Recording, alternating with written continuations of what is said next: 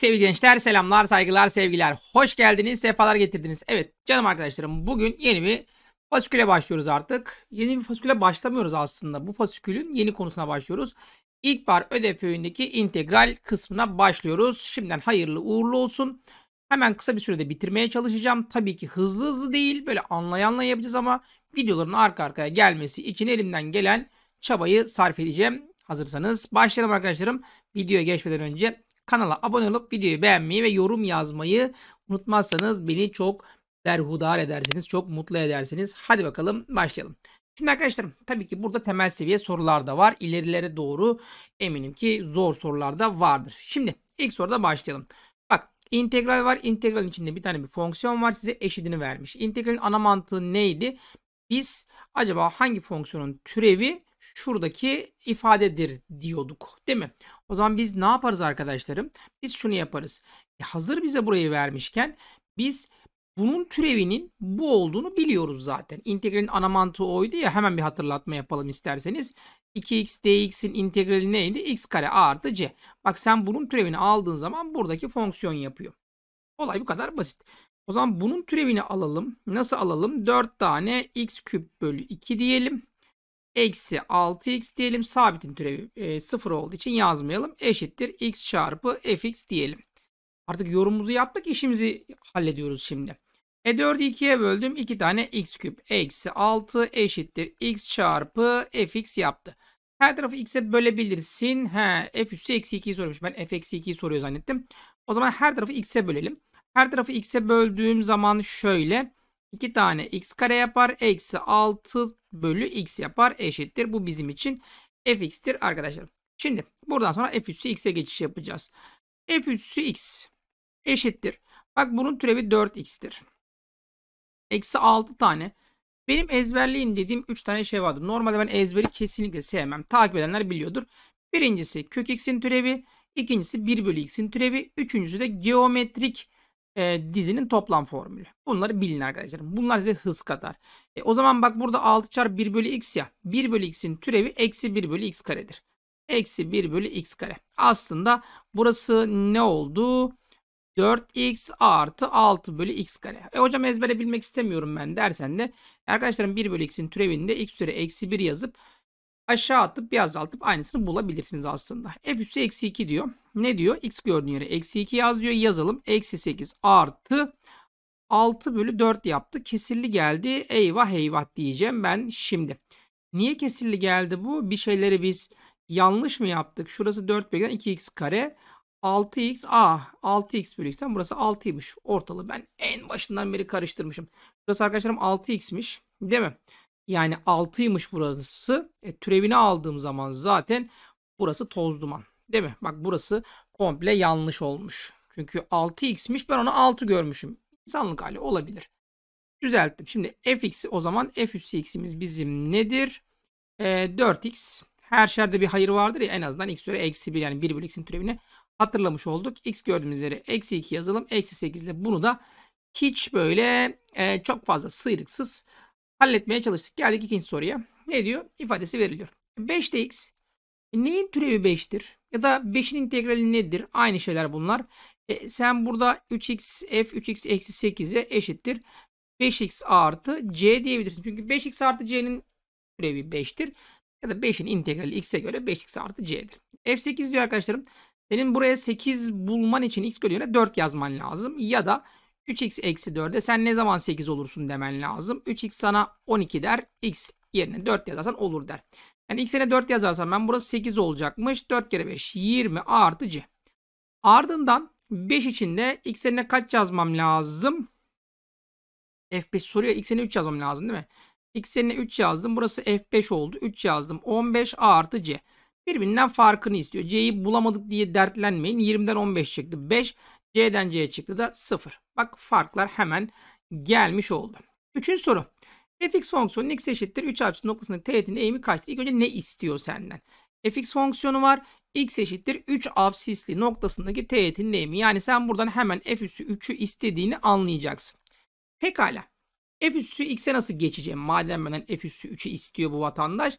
E, bunun türevi burası değil miydi? Evet. E, o zaman burası f üssü x dersem E burasıydı yani içindekinin aynısı. Bak yorumlarım hep sabit görüyorsun değil mi?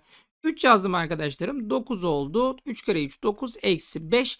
18'den 5 çıktı. Bak burası da 13 yaptı. Mis gibi tertemiz. İyi gidiyoruz. İyi gidiyoruz. İyi başladık diyecektim. Çok da iyi başlamadık aslında. Şurada bir ufak bir e, ne oldu? Tökezlememiz oldu. Sıkıntı yok. Şimdi bak. İntegralde böyle bir şey gördüğün zaman hemen icabına bakacaksın arkadaşım. Bu nedir? Bu diferansiyeldir. Diferansiyel ne der sana? Fonksiyonun türevini al, çarpı yanına dx yaz. Tamam mı? Çünkü integralde böyle dx falan olmak zorunda. Olmazsa olmaz arkadaşlarım. Çünkü ben neye göre integral alacağımı bilemem. Şimdi x kare artı 1'i yazıyorum. x kare artı 1'i yazıyorum. Çarpı dx kare gördüğüm yere de 2x dx yazıyorum. 2 tane x çarpı dx yazdım. Buradan sonrası dağıtma. Bak çarpımın integrali yok ha. Ben bunun integralini alayım. Sonra bunun integralini çarpayım. Yok öyle şeyler. Dağıtacağım. 2 tane x küp diyeceğim. Artı 2x dx diyeceğim. Şimdi artık bunun integralini alacağım. 2 tane x üzeri 4 bölü 4 yazacağım. Artı 2x'i de 2 tane x kare bölü 2. Yazdım gitti. Burası x üzeri 4 bölü 2 yaptı. Burası da x kare yaptı. Tabi bir tane artı c'siz bu iş olmaz. Bunu artık böyle bakacağız, bulacağız. Hangisi yapıyor? Şu yapıyor herhalde değil mi? Bursa'yı işaretleyecektim ama yanlış olmasın. Şimdi 5. Şimdi yana yakıla gidip burada f'in tersini falan almaya çalışıyoruz. Bak ilk önce şurası d bir şey arkadaşlar. Bak integralde şunları iyi bil. d fx. Şimdi bunun eşitini ezberle demiyorum ben sana. Ben sana sadece şunu bil diyorum d fx'in eşitini bil arkadaşım. Bu diferansiyelde daha biraz önce yaptık. dx karede. Olay f üssü x çarpı dx'tir. Yani sen buna f üssü x çarpı dx yazıyorsun. E şimdi bakıyoruz artık yani bunun eşitinin ne olduğunu araştırıyoruz. E neyin türevi f üssü x'tir? E tabii ki de fx'in arkadaşlarım. fx artı c. Şimdi bak bir buna bakıyorum bir de buna bakıyorum. Ne yapmış? İntegral yazmış. d yazmış. fx artı c olarak çıkmış. Ezberlediysen benim için sıkıntı yok. Ama bunun f'in tersi yani buradaki fonksiyon neyse artık. Hocam fx yazıyorsun. Burada f'in tersi yazıyorsun deme. Bu içindeki fonksiyon neyse arkadaşlarım f'in tersi x artı c çıkacakmış. Tamam mı? O zaman bunun tersini alacağız. Bunun tersini unuttuysan eşittir y dersin. X'i yalnız bırakmaya çalışırsın. Ama bu tarz fonksiyonun tersini şöyle alınıyordu. Hatırlatayım. Şu eksi 4 ile bunun e, şu 2 ile eksi 4'ün hem yerlerini hem de işaretlerini değiştirdiğiniz zaman tersini almış olurdunuz. 4x eksi 3 bölü x eksi 2'dir. Bunun tersi tabi integralin değeri de artı c. 4x eksi 3 x eksi 2. Ya da unuttun olabilir insanlık hali ne yapacaksın? Eşittir y deyip x'i yalnız bırakmaya gayret edeceksin. 6. Bak bu bir gösterim. Ne gösterimi bu? Bu f üssü x gösterimi. f üssü x'in adam sana 6x kare olduğunu söylüyor. Yani dfx bölü dx f'in türevidir. Tamam. Şimdi f eksi 1 y'de f2 kaç? Şimdi biz zaten integralde ne yapıyorduk? Neyin türevi 6x kare? Yani sen fx'i bulmaya çalışıyorsun aslında. İşte aslında integral alıyoruz buradan. Tamam mı? dx'e de yazarsak daha hoş olur. Yani neyin türevi 6x karedir? O zaman 6x karenin integralini almam lazım değil mi?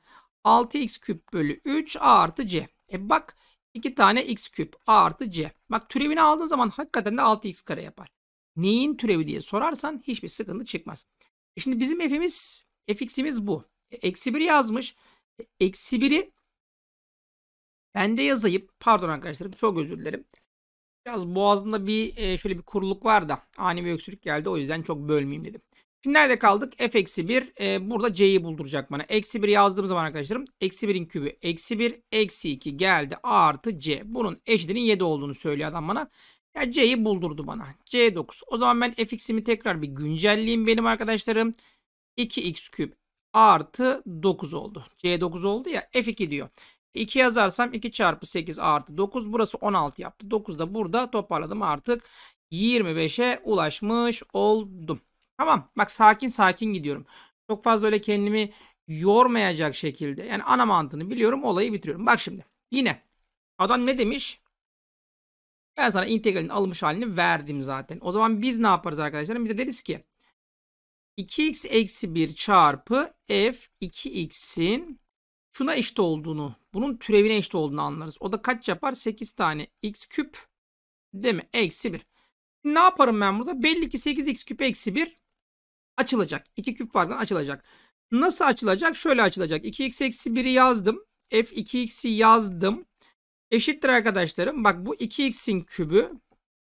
Bu da 1'in kübü. 1'in karesi de olur ama 1'in kübü.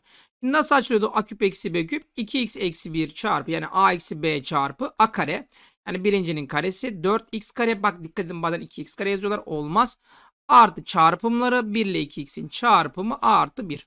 Yani aslında diyor ki 2x eksi 1'ler aynı yani f2x buna eşittir diyor. O zaman sen f2x'i 4 tane x kare artı 2x artı 1 bulursun diyor. f üssü eksi 2'yi soruyor.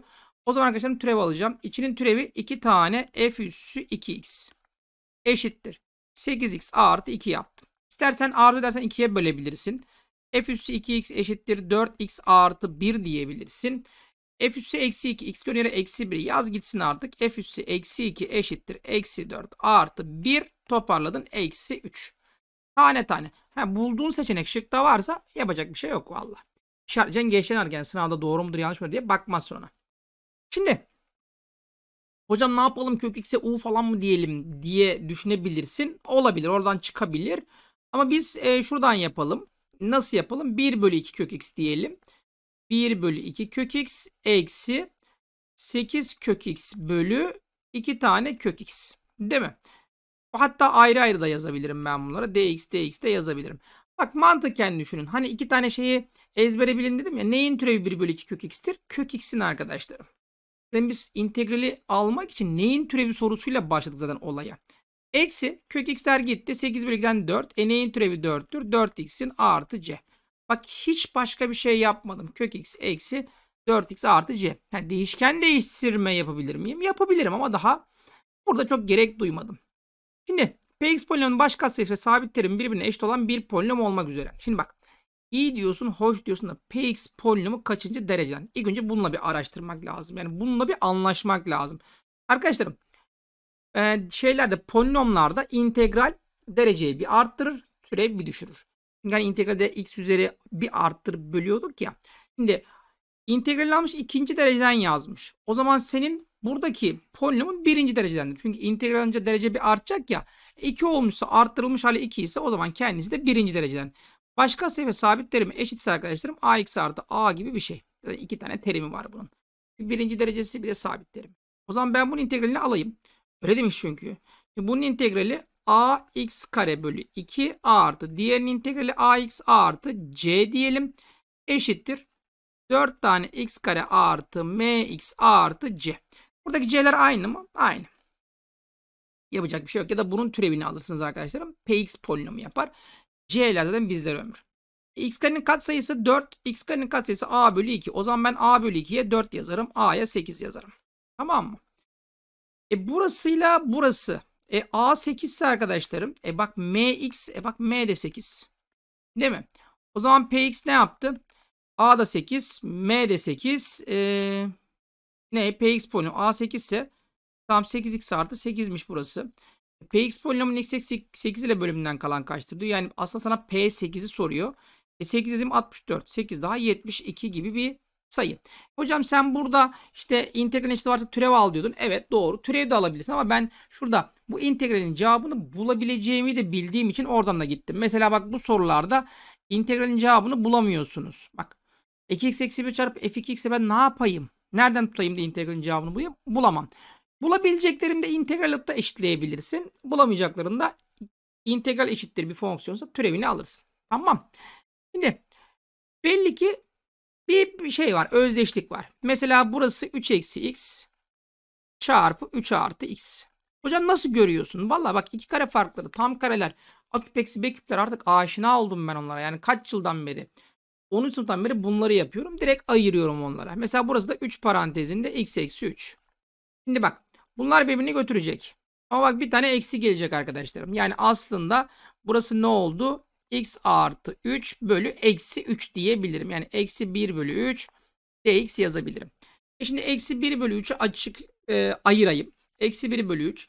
Bunun e, integrali x kare bölü 2 a artı diğerinin integrali de 3x a artı c. Eşittir yazdım. Dağıtıyorum. Eksi x kare bölü 6 yaptı. Dağıttığım zaman eksi x yaptı hocam. Eksi c bölü 3 mi yazalım? Hayır ne gereği var? Bir tane artı c yaz. Sabit zaten sabittir. Hangisi yapıyor? Denizli yapıyor sanki. Eksi x kare bölü 6 eksi x artı c. Tamam. Anlaştık mı? Şimdi 11. Bak ilk önce normal integral alma yöntemleri. x eksi 1 bölü x üzeri 4. Bunu geleceksin. Düzgün bir şekilde x bölü x üzeri 4 yazacaksın. Eksi 1 bölü x üzeri 4 dx yazacaksın.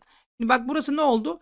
Üst üste bölme işlemi. Biliyorsun bunu. Üsttekiden alttakinin kuvvetini çıkarıyorsun. Yani 1'den 4'ü çıktım. Eksi 3 dx yazacağım. Eksi bu da x üzeri eksi 4 dx olacak. Gelelim düzgün düzgün integral almaya. Bunun integrali bir arttırdım. Eksi 2 bölü eksi 2 artı. Bunun integrali bir arttırdım. Artı nereden geldi? Artı değilmiş arkadaşlarım. Eksiymiş. Bak şurada eksi yazıyor. Eksi. Bunun integrali bir arttırdım. Eksi 3 bölü eksi 3 artı c. İkisine de ayrı ayrı c eklemedim. Bir tane c eşimizi görür. Bak bunlar artı olabilir. Şimdi nasıl düzenleyebilirim? Şu x üzeri eksi 3'leri x üzeri eksi 2'leri şöyle yazarım. Eksi 1 bölü 2 tane x üzeri 2. Bunu paydaya aldım daha şık görünsün diye. Bu da 1 bölü 3 tane x üzeri 3 a artı c. Artık buna bakacağım. Hangisi yapıyor? Şurada Adana'da yakaladım sanki ben bunu. Tamam değil mi? Oluyor değil mi? Sıkıntı yok. Şimdi 12. Bak ben ne dedim? dgx. Bak fx eşittir. Artık bunu direkt gördüğü zaman şunu da yapabilirsin. d ile integral gitti. gx kaldı. En son integral aldığın için bir tane artı da ekleyebilirsin. İspatını defalarca yaptım. Hatta bu derste de yaptım. Artık buradan hareket edebilirim. Bak şöyle yapabilir miyim ben? fx eksi gx eşittir c gibi bir sayı diyebilirim değil mi? Bak bunu buraya attım. 2 yazmış arkadaşlarım. 5 çıkmış. E ben x gördüğüm yere 2 yazarsam 5 çıkacaksa c'nin 5 olduğunu anlatmaya çalışıyor. Değil mi? E, g3 8'miş. O zaman x yerine 3 yazayım ben. f3 eksi g3 eşittir bu da 5. E, bu adam arkadaşlarım hani de bu 8 ise 13'ten 8 çıkarsa 5 kalır. Tabii ki de bu da 13 olur dedik ve test 1'di galiba bu. Test 1'i bitirdik. Bir dahaki videomuzda geleceğiz. Test 2'yi çözeceğiz. Bunda da kaç tane sorumuz varmış. Hemen şöyle bir check edelim. 12 tane sorumuz varmış arkadaşlarım. 12 tane soruyla bu işi de halledeceğiz. Kendinize iyi bakın. Görüşmek üzere. Hoşçakalın. Takipte kalın. Bizleri unutmayın. Hoşçakalın arkadaşlar.